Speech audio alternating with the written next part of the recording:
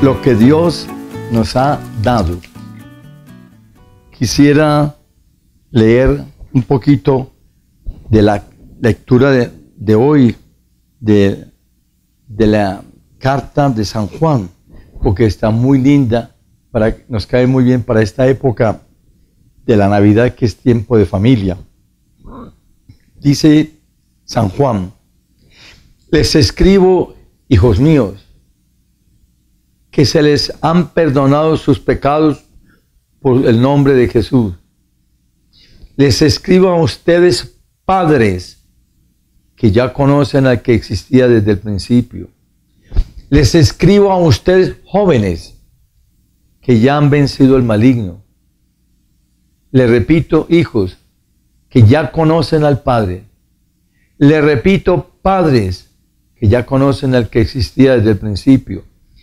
Les escribo jóvenes que son fuertes y que la palabra de Dios permanece en ustedes y que ya han vencido al maligno. No amen al mundo ni lo que hay en el mundo. Si alguno ama al mundo, no está en él el amor del Padre, porque lo que hay en el mundo es las pasiones de la carne, codicia de los ojos, arrogancia de dinero. Eso no procede del Padre, sino que procede del mundo. Y el mundo pasa con sus pasiones, pero el que hace la voluntad de Dios permanece para siempre. Creo que esta lectura de San Juan nos cae muy bien explicarla por otra carta del Espíritu Santo dada a Timoteo, la segunda carta de San Pablo a Timoteo, en el capítulo 1, dice en el verso 6, Timoteo, te recomiendo que avives el fuego, que resucites el fuego, que actives el fuego que te fue dado y que te dio tantas capacidades de parte de Dios.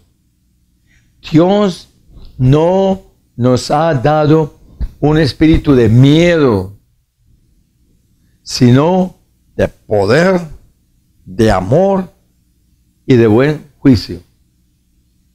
No tengas vergüenza de dar testimonio a favor de nuestro Señor Jesucristo. Acepta de parte de Él todo lo que Él permite en tu vida. Vamos entonces, como estaba diciendo, padres tal cosa, hijos tal cosa, jóvenes tal cosa. Mira aquí eso que acabamos de ver en San Juan. Mira aquí como dice el Espíritu Santo. No nos ha dado un espíritu de miedo.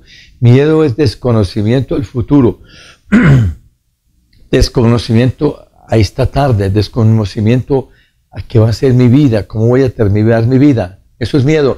Y el miedo es del diablo. El diablo pone lo que es miedo y remordimiento. El miedo y el remordimiento y la duda las pone Satanás para no dejarte ser feliz. Somos felices en la medida en que conozcamos a Jesús. Esa es la felicidad, en la medida. Y por eso dice, no tengas miedo. Dios no nos dio espíritu de miedo. El que tenga miedo es del diablo. Si tiene miedo a la oscuridad, a la luz, a los hombres, a las mujeres, a la, multitud, a la soledad, ese miedo es del puro diablo. Y el diablo te va a trabajar el miedo y te lo va a trabajar el miedo es pues porque Dios no me oye, le echa la culpa a Dios cuando es del diablo. Nos dio que entonces un espíritu de poder, poder de pensar, poder de hablar, poder de evangelizar, poder de comprender, poder de amar, poder de perdonar, poder de no pecar, poder de instruir, poder de interceder. Pero mira cuántos poderes. No acabaríamos. Y en esto del poder, yo quisiera entonces leerte de San Pablo en la carta que mandó a los Efesios. Para mí son de las cosas más bonitas que me he encontrado en la palabra de Dios. Dice Efesios, vamos a leer Efesios porque es, de las cosas más preciosas que yo me he encontrado en la palabra de Dios. Ah, si no lo digo, aquí está. Efesios 1, del verso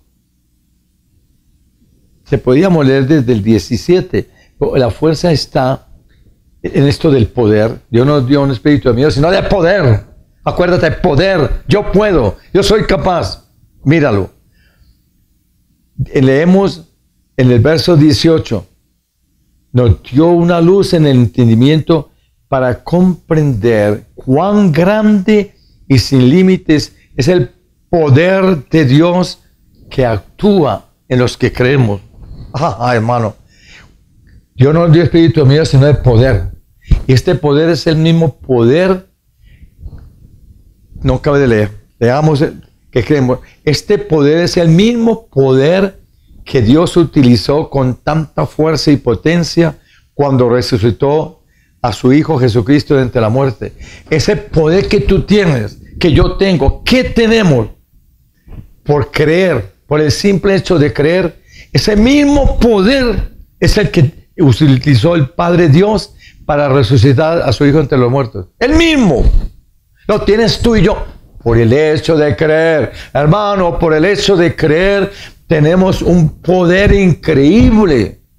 Y está San Pablo diciendo, inspirado por el Espíritu Santo, yo le pido a Dios que te dé sabiduría, inteligencia para comprender y entender y yo diría agregaría y vivir esta realidad que hay poder en nosotros. Y usemos este poder porque ese poder es el mismo que utilizó el Padre para resucitar a su Hijo entre los muertos. Y el mismo Señor Jesús, en los Hechos 1 y en el verso 8 dice, espérense, cuando venga el Espíritu Santo tendrán poder. No, no habla sino de poder por todas las partes. Hermano, vamos a hacer uso de este poder. Si yo te contara cantidades de cosas lindas, que en la medida que uno comienza a hacer uso del poder, es como con los músculos, en la medida que uno comienza a hacer gimnasia física, el cuerpo se crece. En la medida que hagamos gimnasia espiritual, crece el poder de Dios en nosotros. Utilicémoslo. Padre, por las llagas, por la sangre, por la pasión de tu Hijo, bendícenos. María, Madre de Dios, ruega por nosotros. Hermano, que Dios nos bendiga en el nombre del Padre y del Hijo y del Espíritu Santo. Amén. Bendiciones.